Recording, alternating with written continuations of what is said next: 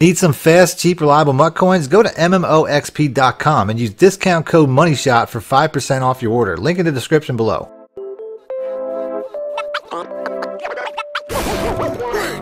Welcome back YouTubers and Madden fans, this is Mad Money Shots, sniffing out the Madden cheese as always. Got another gameplay video for you today. We're playing some uh, some draft champions. I'm going with the Denver Broncos playbook, so the plays you'll see in today's video will be out of that. That's one of my more favorite books. Uh, but today's video is more about um, the things that are wrong with Madden 20 that they really need to fix before they get to Madden 21.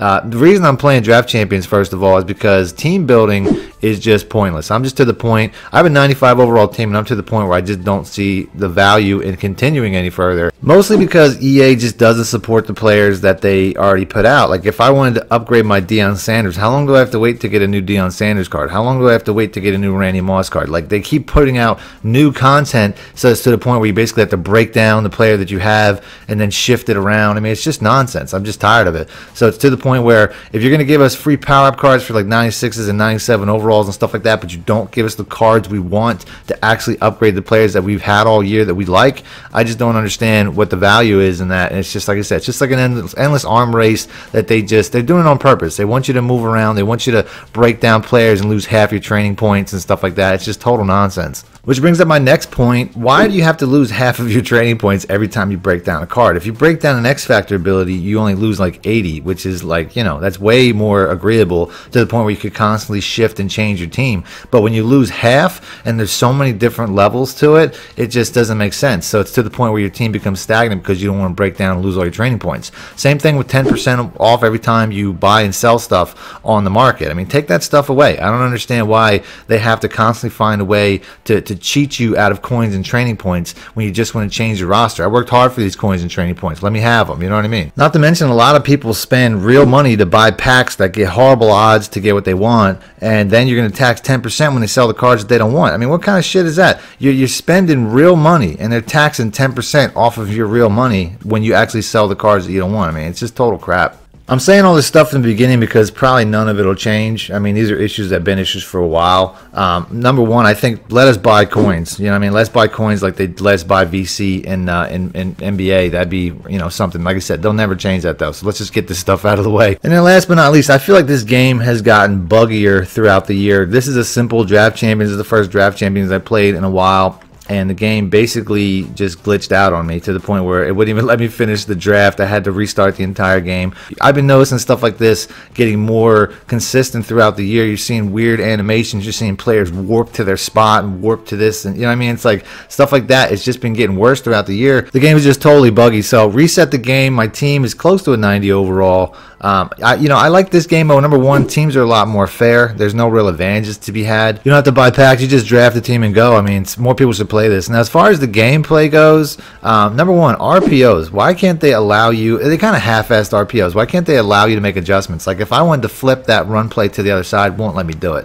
which is totally stupid. Um, the other adjustments they took away, they took away the ability to just call a simple slant route for a tight end. That was always a staple for most offenses. Here, all you can do is, is call a drag or an in route. That didn't really cause me the interception there, but still, why did they have to take away the slant option audible hot route for tight ends? Now they you have to have an X factor for it. Like I said, this game's better without X factors. They had to basically take stuff away so they can repackage it as an X factor. It's totally stupid. I would also like to see them take away this automatic hurry up offense crap they have. You can see right here, I'm just trying to set up my defense and I get stuck on Vita Vea where I have to use it throughout the play. I mean, obviously I'm not going to make a lot of user plays with a 60 speed defensive tackle. This game is pretty much set up that you have a hurry up offense pretty much every single play uh, to the point where it's just a huge disadvantage to play defense at all. You have no time to make adjustments. A lot of these things were added to Madden this year, and they kind of suck. Something they took away, they had a uh, function where if you came out in all-out cornerbacks, your team would get bulldozed. They must have took that away because now you can run a cornerback defense the entire game, and it's no big deal. They need to take that away.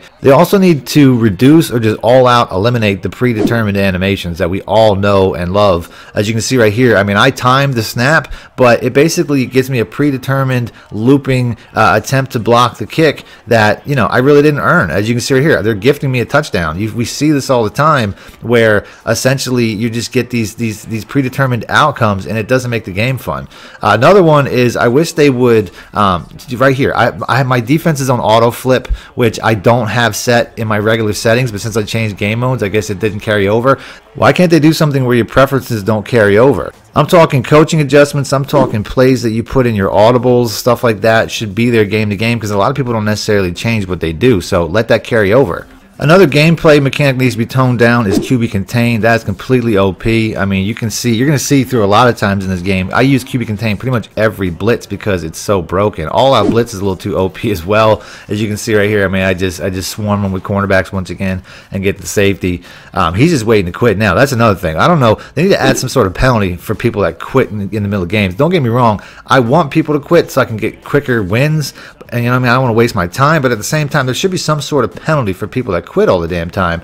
Uh, toss plays got toned down seriously this year. Um, they basically took it away once again for an X Factor to add pin and pull guru. I feel like it's a little bit better now, but they really need to fix that. Uh, they also need to fix the servers because the servers suck. I mean, there's just lag after game after game after game. There's so much lag in this game. It's unreal. Um, if you haven't noticed, I pretty much am giving a new complaint pretty much every play, and that's a problem. You know what I mean? Like, how can you how can you have a complaint about every single play and then still call this a good game? I mean, I won the first game. I no reason to complain about that. But there's things to complain about pretty much every single play in this game, which is not a, that means it's not a good game.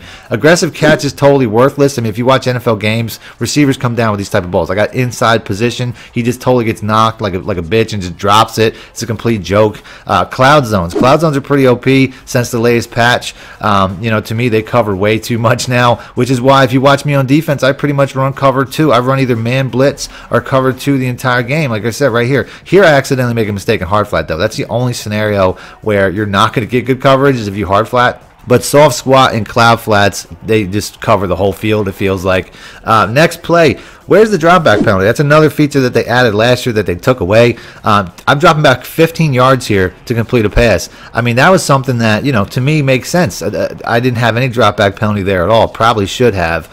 Um, and like I said, once again, aggressive catch. It just totally sucks. The catching animations are just really bad. That's a play, like I said, that just reminds me of Alshon Jeffery catching the Super Bowl against the Patriots. He made a play just like that, but you really don't get that in this game. You never, you rarely ever get that in this game.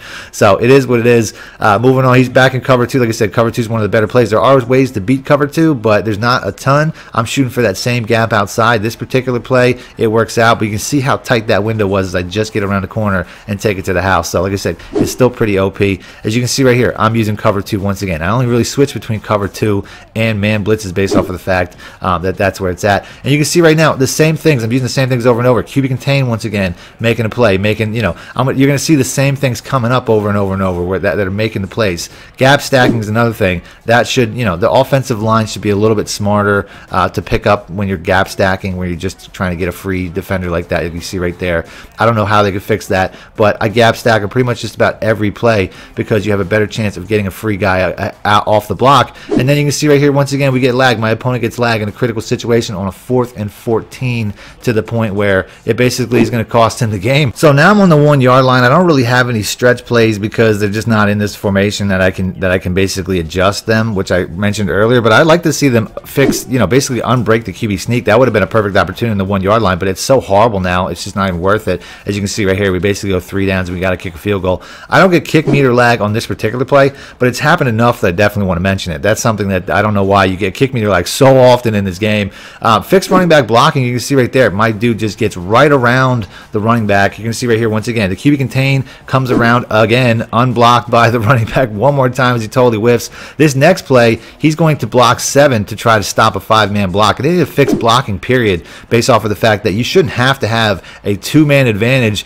in a blocking scheme to make a play. He does it again once, once again right here, and you can see, you know, now he's having a little bit of success. But he has three guys on routes where I have six guys in coverage. I mean, how often is that going to work out when you have to do that, when you have to be that dramatic to try to stop a pretty simple to set up uh, blitz? You know what I mean? It's a five-man blitz, and it's getting through to the fact to the point where he just has no chance. You can see here once again, QB contain one more time, totally overpowered. A lot of this is just the same stuff repeated that are really breaking this game because they're so overpowered that people just use them over and over and over. Gap stacking, QB containing, cover These are the things that people complain about. They're trying to change this game by adding a lockout option where in next Madden, where if you call a play too many times, it'll lock out. To me, that's totally stupid. If you want to change the game, just fix the game. You know what I mean? You have these things that are going to break the game regardless. I could run these exact same uh, QB contains all you know wherever I want to. You know what I mean? Like I can run them at any play. If QB contains still broken, it's still going to have success. I can call cover two. If the coverage is overpowered, it's still going to have success. If I call cover two, whether I call in this formation, that formation, it's not going to change the fact that cover two is still really overpowered and QB contains really overpowered and gap stacking is really overpowered. And these things are not going to go away based off of the fact that you're locking out an individual play without actually fixing the game. So that's it. That's the vid. Uh, my opponent's just going to quit. If you guys want to see more videos like this, do me a favor, hit the like button, and let me know in the comment section, and I'll do that next. Other than that, thanks for watching, man. Money shit out. Need more help or just want to show your support? Then head over to my Patreon and join my team, where you can get exclusive content like ebooks and bonus plays, as well as early access to my vids and more. Link in the description below.